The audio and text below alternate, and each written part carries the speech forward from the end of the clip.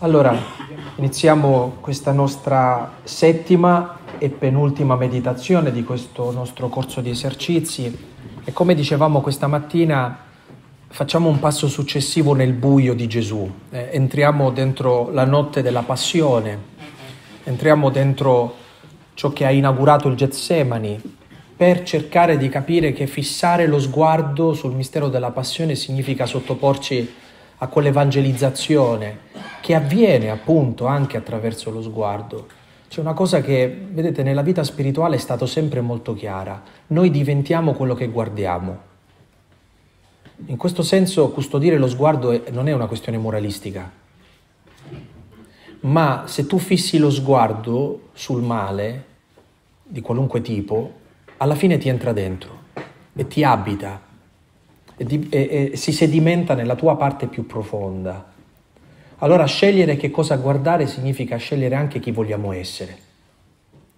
Più noi contempliamo quello che accade davanti ai nostri occhi, un po' come tutti i personaggi che sono raccontati da Marco, che sono lì presenti, sono lì con Gesù, non fanno nulla, non parlano, ma guardano quello che sta succedendo, eh, la nostra speranza è che tutta quella scena e tutti quegli eventi, quelle parole, le azioni di Gesù ci entrino talmente tanto nel cuore da spingerci a una vera conversione. E ancora una volta permettetemi di dire di non confondere la conversione con il fomentare un qualche senso di colpa dentro di noi. Chi si converte non nutre un attaccamento particolare ai sensi di colpa, bensì al contrario, alla liberazione dal senso di colpa perché ha incontrato un amore che l'ha liberato. È una logica completamente nuova, completamente diversa. Bene, oggi pomeriggio, per arrivare proprio al clou del buio di Gesù, che è la sua morte in croce, ehm, ho scelto come eh, pezzo del Vangelo, come brano del Vangelo che potesse in qualche maniera guidarci, quello che troviamo al capitolo 15 di Marco, a partire dal versetto 21 fino al versetto 40. E vi accorgerete che in realtà non ho scelto un brano che abbia un, un pieno compimento, ma ho voluto scegliere un versetto in mezzo a un'azione che sta accadendo. Eh, noi ci insinueremo eh, dentro una narrazione che è già all'opera, che è in movimento. Il versetto 21, qualcuno dice che è stato aggiunto anche successivamente, è, è, come, è come, se ci portasse in qualche maniera ad entrare eh, dentro questo movimento del Figlio di Dio che sta per donare la vita per ciascuno di noi. Capitolo 15, versetti 21-40. Ma prima di eh, leggere il testo e di commentarlo insieme, è importante dire che cosa non leggeremo perlomeno non lo faremo qui nella nostra meditazione, ma nella preghiera ciascuno di noi può leggere per intero la passione di, di secondo Marco. Non leggeremo tutta la scena precedente che dopo l'arresto di Gesù è il processo che Gesù subisce. Eh, questo essere portato a destra a manca, essere, essere oltraggiato, insultato, sputato, picchiato, denigrato ed essere poi condotto fino al punto in cui morirà in croce. E Marco vuole un po' suggerirci che in quel momento si sta compiendo la vera regalità di Gesù. E noi possiamo leggere in questo racconto tutte le tappe del, del, dell'incoronazione di un re. Innanzitutto la proclamazione di un re, cioè quando è il momento in cui viene proclamato re Gesù, nel momento in cui fa una cosa da re. E che cosa fa il re? Dà la vita per qualcuno, riscatta la vita di qualcuno. E Gesù è messo nella condizione di riscattare la vita di un uomo che si chiama Barabba. Gesù morirà al posto di Barabba.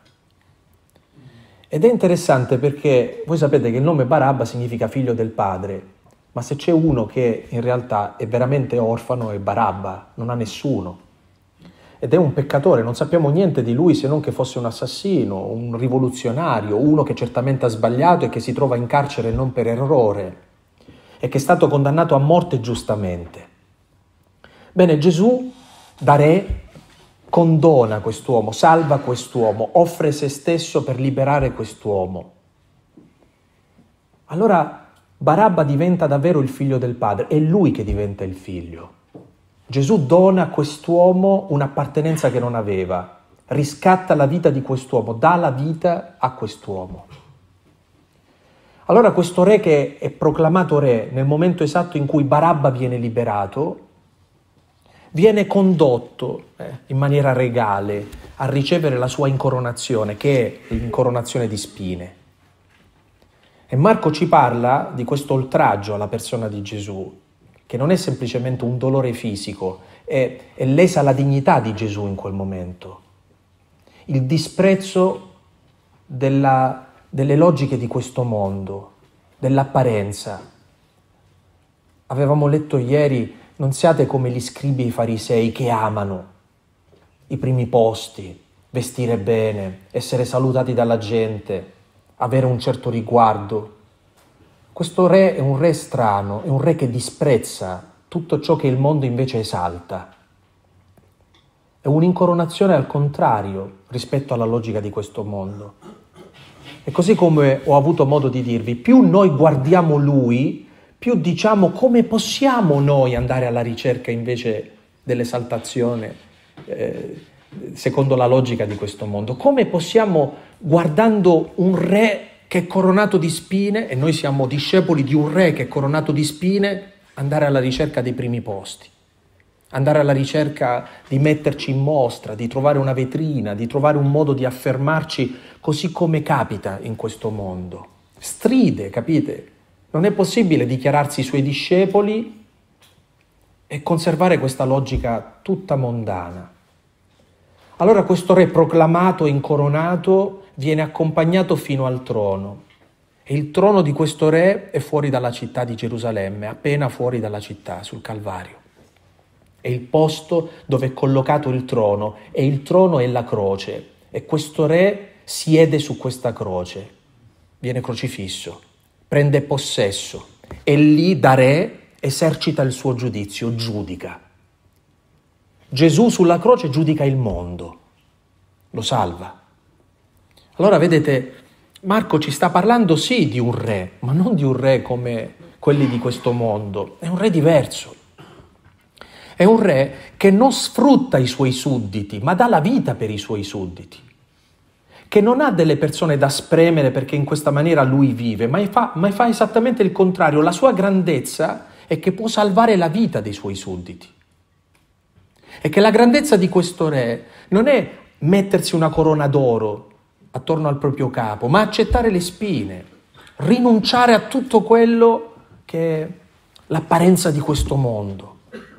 È un re che si lascia condurre è un re che capisce che il suo vero trono, cioè il, il, il posto dove effettivamente può regnare, è il posto dove lui è totalmente sconfitto. Noi lo vorremmo forte e invece c'è la totale debolezza di questo re, che giudica il mondo e lo salva. Ecco, questa è la scena che precede il brano che stiamo per leggere. E Marco al versetto 21 di questo capitolo 15 comincia la narrazione dell'ultimo tratto di vita di Gesù con questa annotazione. Costrinsero a portare la sua croce un tale che passava, un certo Simone di Cirene, che veniva dalla campagna, padre di Alessandro e di Rufo. Guardate, noi possiamo immaginare che questo poveretto, questo Simone di Cirene, certamente non era un ricco. Se fosse stato un ricco nessuno avrebbe potuto costringerlo a fare qualcosa. È un, un poveraccio. Uno di quelli che dalla campagna gli è venuta la bellissima idea di festeggiare la Pasqua a Gerusalemme. Ma è un povero anche lui, che vuole semplicemente celebrare la Pasqua a Gerusalemme. Voi sapete che dopo che lo costringeranno a portare la croce di Gesù, anche lui sarà maledetto, quindi non potrà nemmeno celebrare più la Pasqua, perché è impuro. Quindi capite che gli hanno rovinato la festa a questo. E la percezione che quest'uomo ha è esattamente questo, come sono stato sfortunato. Non soltanto ho cercato magari di andare eh, a fare fortuna altrove e non ho fatto fortuna, Vado a Gerusalemme per celebrare la Pasqua e mi succede una cosa che mi impedisce di celebrare la Pasqua. Oh, che sfortuna! Povero Simone di Cirene, non sa che lui ha avuto il privilegio di fare una cosa che nessun altro potrà fare in tutta la storia di Gesù. sarà la persona che avrà il privilegio di poter stare accanto a Gesù nel momento più importante della sua vita. Ma lui non lo sa, come molto spesso succede a ciascuno di noi. Anche noi, vedete, eh, veniamo angariati, i romani lo facevano spesso. Quando il testo ci parla che lo costrinsero, che angariarono ehm, eh, Simone di Cirene, significa che era un'abitudine dei romani costringere la povera gente a fare dei lavori senza essere pagati. Loro avevano deciso che tu dovevi fare quella cosa e la facevi, punto, perché erano abbastanza violenti e forti da obbligarti a fare quella cosa. Quindi Simone di Cirene non è un compassionevole che rimane colpito dalla sofferenza di questo condannato a morte e dice adesso gli do una mano, è un uomo che è angariato, è costretto. Molto spesso le cose più importanti della nostra vita inizialmente noi le percepiamo come una disgrazia, come un obbligo per noi, come qualcosa che non avremmo mai scelto. Non lo sappiamo, capite? Che abbiamo il privilegio di condividere la cosa più importante che ci poteva succedere nella vita e in quel momento noi quella cosa importante la chiamiamo disgrazia, la chiamiamo sfortuna. Pensiamo che tutto è contro di noi. E Simone di Cirene non sa che se c'è qualcuno che assomiglia a Gesù in quel momento è esattamente lui. Anche Gesù è un cireneo, anche lui sta portando la croce di qualcun altro. Con la grande differenza che però Gesù ha scelto di portare la croce di qualcun altro, la nostra. E Simone invece è costretto a portare la croce di qualcun altro. Perché mi è capitata quella cosa a me? Perché mi è capitata quella famiglia o quella chiesa o quel confratello o quel dolore o quella situazione o quel peccato? Tutti noi ci facciamo questa domanda e molto spesso pensiamo di subire un'ingiustizia, come Simone ha la percezione di subire un'ingiustizia. Tante cose dentro la nostra vita diciamo, ma io vedo gli altri, gli altri non hanno quei problemi che ho io. Tra tutte le persone che erano presenti a Gerusalemme, tra tutte le persone, oh, ci vuole fortuna ad essere beccati dai romani per fare una cosa del genere, non c'erano altri. Quindi la sensazione che ha Simone di Cirene è proprio quello di aver beccato la cosa più sfortunata che possa succedere al mondo. È una sensazione che succede dentro la nostra vita. Eh? Perché ci è successo proprio a noi tutto questo? Vedete, l'errore è pensare che basta essere molto profondi, di usare molto l'intelligenza per rispondere a questa domanda, ma la verità è che non c'è una risposta a questa domanda. Nel momento in cui tu vivi questa esperienza non ce l'hai la risposta. Il Vangelo ci racconta questo semplicemente perché vuole dire che quando ci troviamo in quella situazione dobbiamo stare attenti a chiudere la risposta pensando di dire siamo sfortunati, perché noi non lo sappiamo che cos'è nascosto dentro un certo buio che ci è successo. Perché Dio ha permesso un'ingiustizia simile? Ognuno di noi potrebbe guardare la propria vita e dire, ma perché mi è successo questo? Solo dopo, certe volte, il Signore ci dà la grazia di rileggere e di dire, ah, ecco perché. Ma non sempre. Di certo però l'atteggiamento che noi dovremmo avere è l'atteggiamento di chi non ha la presunzione di sentenziare sulla propria croce, sul proprio buio, sulle proprie esperienze. Costrinsero a portare la sua croce a un tale che passava, un certo Simone di Cirene che veniva dalla campagna, padre di Alessandro e Rufo. Allora condussero Gesù al luogo del Golgota, che significa luogo del cranio, e gli davano vino mescolato con mirra, ma egli non ne prese. Dicevamo oggi quando parlavamo del sonno dei discepoli, il fatto che dormono davanti al dolore e che non riescono a reggere l'impatto con la sofferenza.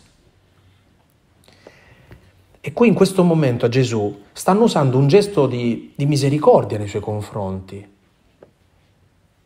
Il vino mescolato con mirra aveva proprio il valore di essere una sorta di antidolorifico e lo volevano un po' stordire perché non sentisse il dolore eh, atroce che stava per subire. Ma Gesù allontana da sé ogni antidolorifico, vuole essere lucido davanti a quello che sta succedendo, non trova ehm, eh, vie di fuga, non accetta nessun compromesso. Che un po' sono i nostri ragionamenti, vedete? Dice sì, è vero, io faccio quel peccato, ma lo faccio perché e abbiamo la spiegazione per cui facciamo quel peccato. E se tu vedi la spiegazione dici, ma sì, è vero, cioè, una, è una buona motivazione, ma è vino mescolato con fiele, capite? Non è la soluzione al nostro problema. Allora noi guardiamo quella scena e diciamo, ma è brutto soffrire senza antidolorifici, però Gesù ha fatto così.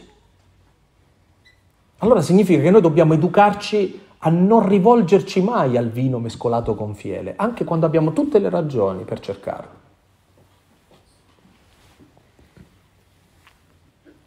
E qui c'è una cosa molto bella di Marco, veramente molto bella. Marco non è un feticista della crocifissione. Ad esempio, non indugia su quello che sta succedendo in quel momento. Non vuole esprimere eh, la crudezza del gesto di quei chiodi che trapassano le mani di Gesù, che, eh, che, che tormentano il corpo di Cristo. Tutta la crocifissione è racchiusa nel racconto di Marco in un'unica parola, in un'unica frase. Poi lo crocifissero. Punto. Perché vuole dire che la cosa più interessante non è la spettacolarizzazione della sofferenza di Cristo, non è questa la cosa più importante. La cosa più importante è Cristo. Anche qui noi nel nostro cristianesimo possiamo porre un accento eccessivo sulla sofferenza e alla fine possiamo dare l'idea che c'è una sorta di sadismo e di masochismo nel cristianesimo, una sorta di amore per la sofferenza. In fondo la sofferenza ci piace, fa tanto cristianesimo, no? Ma questo non è vero. Il cristianesimo non è il culto della sofferenza. Quando noi incontriamo la sofferenza nel cristianesimo, la incontriamo soltanto perché è l'espressione di qualcuno che sta amando, non di qualcuno che ama soffrire. E se tu ami la sofferenza solo per la sofferenza, sei malato.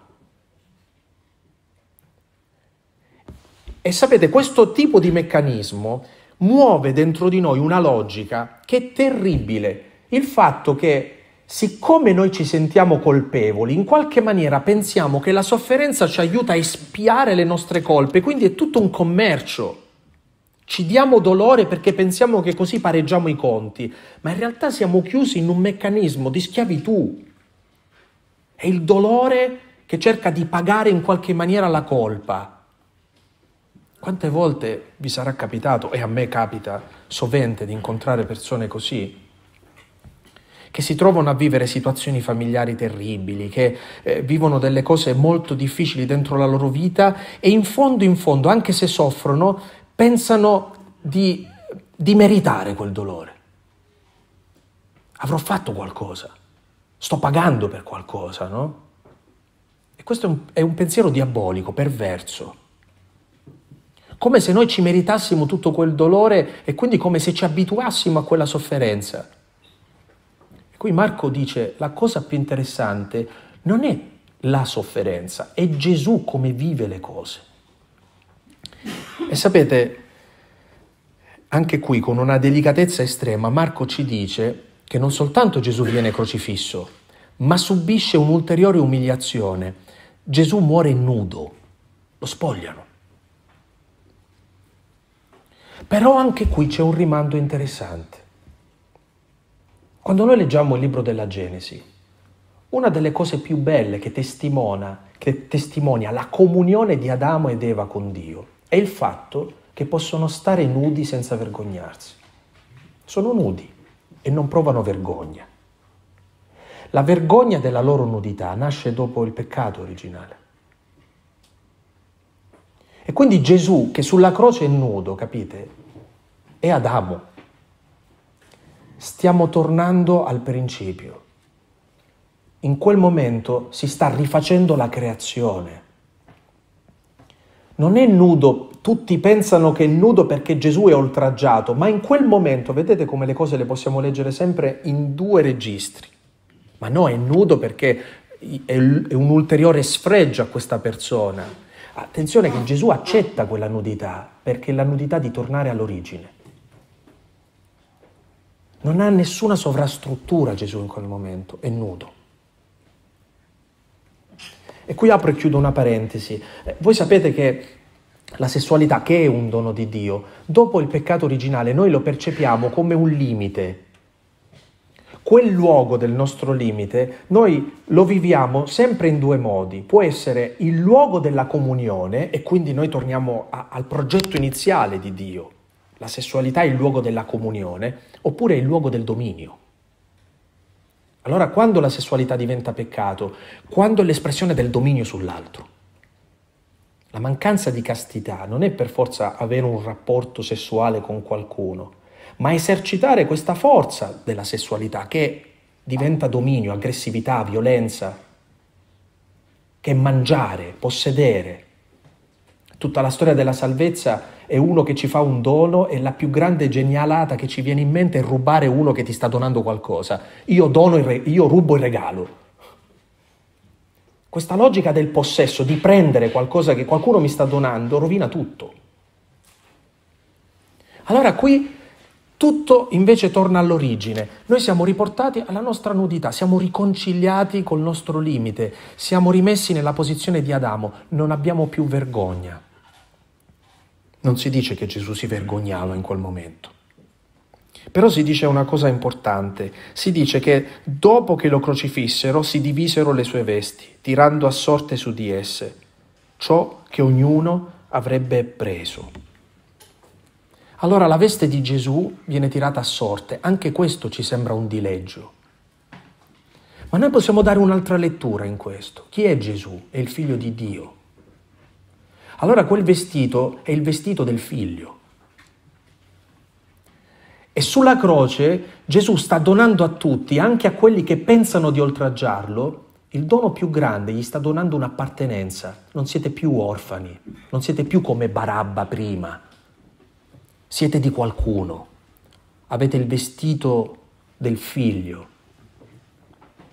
Quando Luca ci racconta la parabola del padre misericordioso del figliol prodigo, quando va a abbracciare questo figlio, gli cambia il vestito, gli mette l'anello al dito, i sandali ai piedi, lo fa nuovo, lo riveste, cioè gli ridà di nuovo la dignità di essere figlio. Allora Gesù sulla croce ci fa questo dono immenso di essere di nuovo figli e perché lui fa quella fine che io ho di nuovo un'appartenenza. Tenete a mente questa parola, eh? ho di nuovo un'appartenenza, significa che non sono solo, che sono di qualcuno. Questo significa avere un'appartenenza.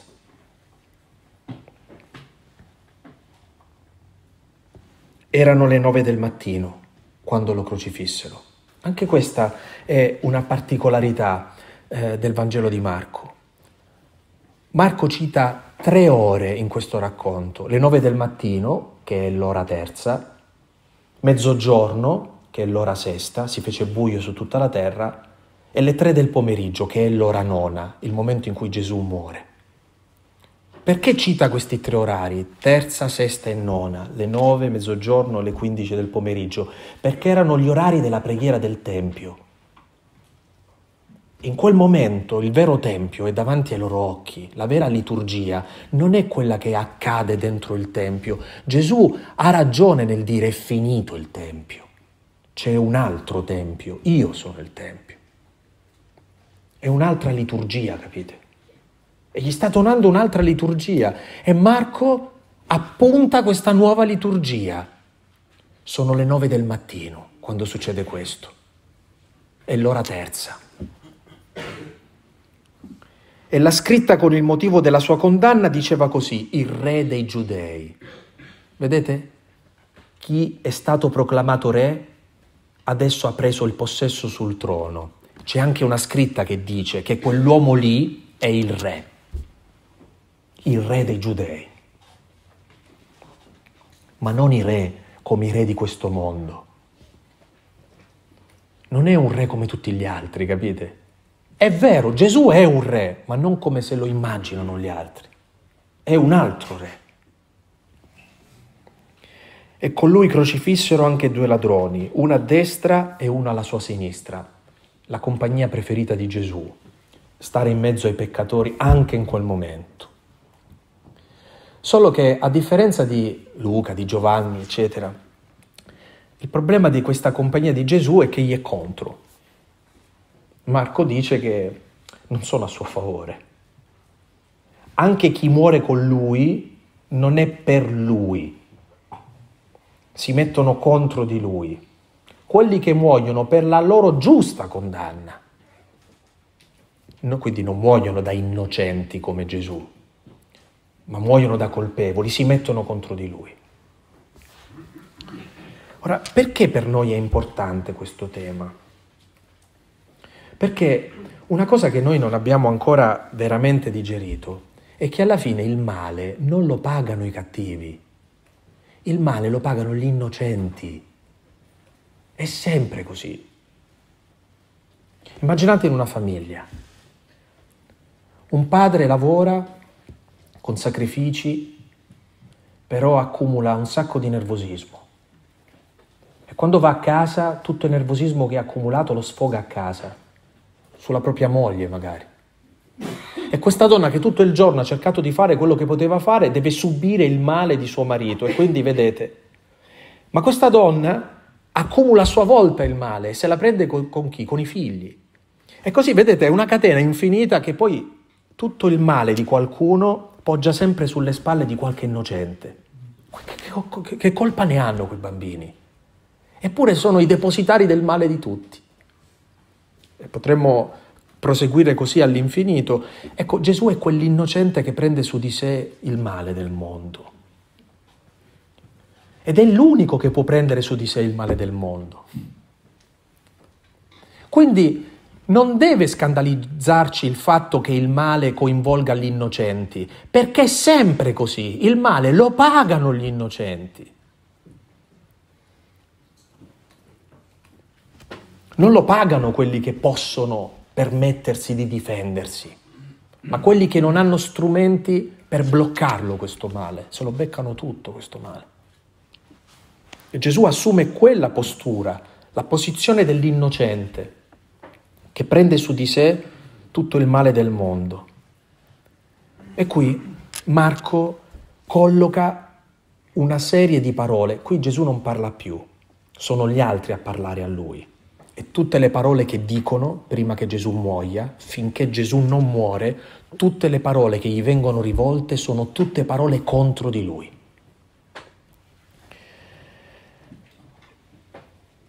Quelli che passavano di là lo insultavano. Letteralmente dovremmo dire che bestemmiavano, quindi lo bestemmiavano scuotendo il capo e dicendo, Ehi, tu che distruggi il Tempio e lo ricostruisci in tre giorni, salva te stesso scendendo dalla croce. Eh, vedete, il problema è sempre lo stesso. La bestemmia è volersi liberare della croce, questa è la bestemmia. Ed è l'accusa che fanno a Gesù. Com'è? Dici di essere il figlio di Dio, di essere potente. Allora scendi dalla croce, dimostraci che veramente sei il figlio di Dio. Quale altra cosa dovrebbe convincerci che sei Dio se non perché scendi dalla croce? Immaginate un po' se Gesù avesse ascoltato questa, questa richiesta. E prosegue, così anche i capi dei sacerdoti con gli scribi fra loro si facevano beffe di lui, gli ridono in faccia. Ecco, Gesù sta morendo e c'è gente che gli ride in faccia. Si facevano beffe di lui e dicevano, ha salvato altri. Quindi citano tutti i miracoli, no? E non ha salvato se stesso, non può salvare se stesso. Il Cristo, il Re di Israele, scenda ora dalla croce perché vediamo e crediamo. Praticamente stanno dicendo, siccome adesso lui non si sta salvando, significa che neanche gli altri miracoli erano veri. Erano una truffa quelle cose lì. Perché se nel momento in cui questa persona deve finalmente fare qualcosa e lo deve dimostrare con la sua persona, non lo fa, allora non era vero nemmeno tutto l'altro. Non erano veri eh, i miracoli di quel paralitico, di quel lebroso, di quell'uomo con la mano inaridita. Prudentemente Marco, prima dell'inizio della passione, colloca l'episodio della guarigione di Bartimeo, quasi a voler dire Guardate che se qualcuno non, non, non vi guarisce lo sguardo, non vedrete nulla di quella passione. Il dono della fede è il dono di uno che ti apre gli occhi e ti fa vedere ciò che da solo non vedi, tu pensi di vedere. Tu sei un cieco che pensa di vedere. Voi dite di vedere, ma non vedete. E anche quelli che erano stati crocifissi con lui lo insultavano. Allora vedete, la folla, i capi dei sacerdoti e chi sta facendo la sua stessa fine, tutti lo insultano, sono tutti contro di lui. Marco non ha nessun altro modo di dirci quanto è abissale la solitudine che Gesù sta provando. E a noi cosa chiede? Di guardarla questa solitudine, di guardare questa incomprensione, di guardare questa contraddizione, questo scandalo. E quando fu mezzogiorno, ecco l'ora sesta, si fece buio su tutta la terra fino alle tre del pomeriggio. Marco non azzarda a dire che c'era un'eclissi, però dice che una roba del genere rende tutto buio, non si vede più niente. Si fece buio su tutta la terra, fino alle tre del pomeriggio. E alle tre Gesù gridò a gran voce. In questo momento della parte finale della vita di Gesù, Gesù parla due volte, anzi dovremmo dire che non è che parla due volte, grida due volte. La prima volta che grida e per dire, per citare questo Salmo 22, Dio mio, Dio mio, perché mi hai abbandonato? Gesù urla questo abbandono. Allora, uno che si è fatto carico del male del mondo significa che si porta addosso il male del mondo.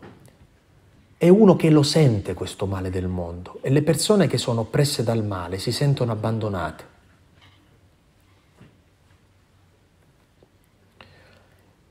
E Gesù non scende dalla croce perché da questo momento in poi nessuno che vive questa esperienza di sentirsi abbandonato possa più dire di essere da solo. Non c'è più nessuno che può dire di essere solo, anche quando si sente abbandonato, perché Gesù ha deciso di abitare l'abbandono. Allora dov'è Dio? Quando io sento la gente gridare, dov'è Dio? È lì, il figlio è lì nel grido di queste persone che urlano, che gridano, che non ce la fanno più, che si sentono abbandonate persino dal cielo. Dio non è lontano. Gesù decide di abitare esattamente quel grido, quell'abbandono. E tutt'oggi che mi torna alla mente il dolore di una madre. Eh, prima, questa mattina parlavo con Don Francesco e ho in mente il dolore di una madre che soffre il tormento della morte ingiusta di un figlio e non trova pace perché il figlio è morto, ingiustamente è morto. E dov'è Gesù se non nel grido di quella madre, nell'abbandono che sente questa donna, nel sentirsi schiacciata, sola, non capita, non accolta, persino dalla Chiesa? Dov'è Gesù se non lì? Guardate che l'esperienza della fede è questo, è l'esperienza di Vivere ogni abbandono sapendo che da quel momento in poi, cioè da quando Gesù è salito su quella croce, nessuno è più solo in questa esperienza. E guardate che c'è redenzione solo perché noi non siamo più soli in quella solitudine. Se Gesù non avesse gridato quell'abbandono, non avrebbe condiviso fino in fondo la nostra condizione umana. Allora capita a tutti noi di fare l'esperienza di essere sgomenti, di sentirci abbandonati, soli. Persino Giovanni, prima di morire nel carcere, ha la sensazione che è stato tutto sbagliato. Gli viene il dubbio che quello per cui ha dato la vita forse non era lui. Anche perché dopo che manda i discepoli da Gesù a dire, ma sei tu? Non è che ci viene detto, allora tornando in carcere, Giovanni diede un respiro di sollievo e disse adesso posso morire. Noi non lo sappiamo effettivamente Giovanni come si è vissuto quell'ultimo momento. Che cosa hanno pensato i martiri nel momento in cui erano là? Che cos'è la, la tua esperienza dopo che hai dato la vita per qualcosa e a un certo punto hai la sensazione che tutto quello per cui tu hai dato la vita, così è cancellato, non c'è più, non serve più ti senti abbandonato, solo, senza senso. Beh, Gesù è lì, eh? è presente esattamente in quell'esperienza. E lui lo grida. Dio mio, Dio mio, perché mi hai abbandonato? Non è una bestemmia, è una preghiera. È un grido che dice che persino in quell'abbandono Gesù pronuncia le parole di Dio. Assieme al perché, che è una cosa umanissima, Gesù ci aggiunge Dio. Dio perché? Non c'è niente di più umano che dire tutta l'esperienza delle, de, degli esseri umani e poter dire una volta nella vita Dio perché. Questo ci rende uomini. E udendo questo, alcuni dei presenti dicevano, ecco, chiama Elia. Niente, non si arrendono, eh. Anche nel momento estremo della morte di Gesù c'è qualcosa dentro di loro che dicono, dai, forse ci siamo. Finalmente riusciremo a tirar fuori il miracolo. Sta chiamando Elia. E qui c'è anche una cosa importante, perché in fondo hanno ragione. Eh, nell'Antico Testamento le ultime parole riferite a Elia sono queste, che tornerà Elia e riconcilierà il cuore dei padri verso i figli. E loro davanti agli occhi stanno vedendo esattamente Elia uno che ha fatto questa riconciliazione, uno che sta offrendo l'occasione di riportare il cuore dei padri verso i figli, il cuore del figlio verso il padre. È questo. Loro lo dicono perché stanno dileggiando Gesù, ma non sanno che in quel modo stanno dicendo la verità. Vediamo se viene Elia. E uno corse a inzuppare di aceto una spugna la fissò su una canna e gli dava da bere, dicendo: Aspettate, vediamo se viene Elia fa- a farlo scendere. Cioè, deve venire Elia, ma per farlo scendere sempre da quella benedetta croce. Ma Gesù, ecco la seconda volta che grida, dando un forte grido, spirò. Letteralmente significa, voi sapete che emise lo spirito, sta espirando. E qui, altro che rozzo segretario di Pietro che rimette a posto degli appunti e ce li riconsegna, guardate la grandezza di Marco. Che cosa fa Marco in questo momento? Dice, il velo del Tempio si squarciò in due da cima a fondo. Siamo tornati all'inizio del Vangelo. Allora si aprì il cielo, si squarciò il cielo e una voce dal cielo disse, Questi è il figlio mio. Marco sta ricollegando tutto dall'inizio. Tutto quello che è successo nel battesimo in questo momento si sta realizzando e sta dicendo ai cristiani che stanno leggendo questo Vangelo che voi che sarete battezzati sarete sottoposti esattamente a questo passaggio. Anche voi Morirete, diventerete solidali con Gesù nella morte per ricevere una vita nuova, diventerete figli.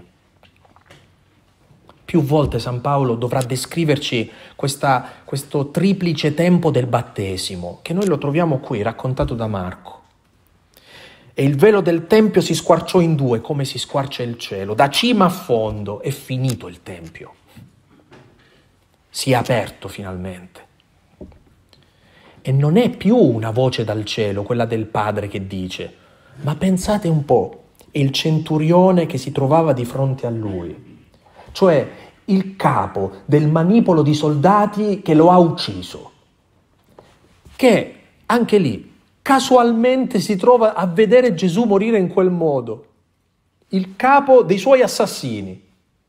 Sta guardando Gesù morire in quel modo ed esclamò, davvero quest'uomo era figlio di Dio. E non dice era perché adesso non lo è più, significa che lo è sempre stato, questo significa. E lo era anche prima. Ma questa, vedete, è la vera rivoluzione. Il demonio vuole dire Dio prima della croce, ma si può dire Dio solo dopo la croce. Questa è la fede cristiana. Se tu pronunci la tua professione di fede prima dell'esperienza della croce, questo fa il demonio.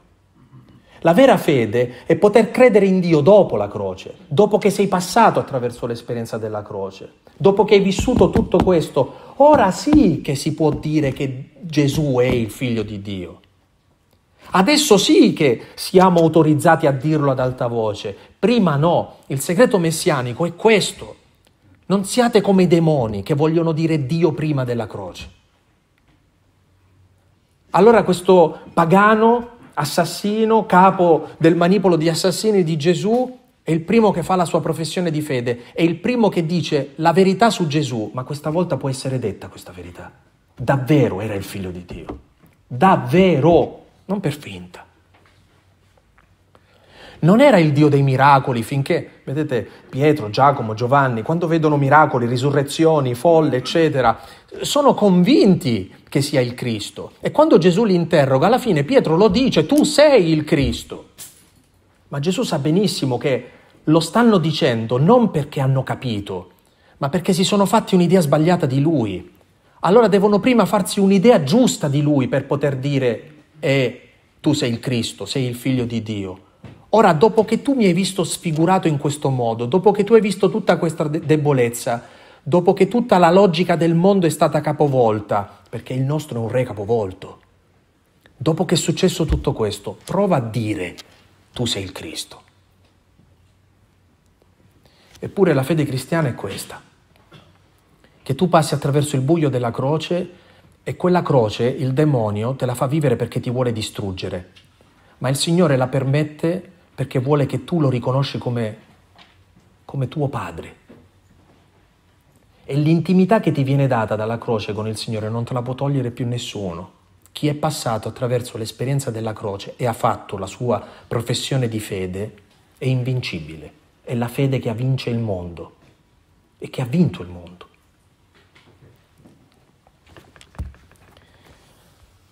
Davvero quest'uomo era figlio di Dio.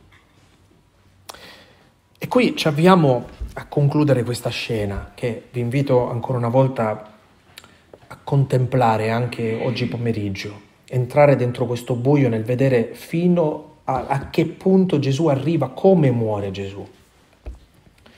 Ed è una cosa che mi ha sempre impressionato leggere di alcuni esegeti che fanno un paragone tra quello che fa Marco e quello che ad esempio tenta di fare il Vangelo apocrifo di Tommaso, che è un Vangelo apocrifo, agnostico, che proprio alla fine eh, alla fine di tutta la scena del racconto di Gesù c'è la Maddalena che li sta seguendo e Pietro dice ma perché questa ci sta seguendo? È una donna.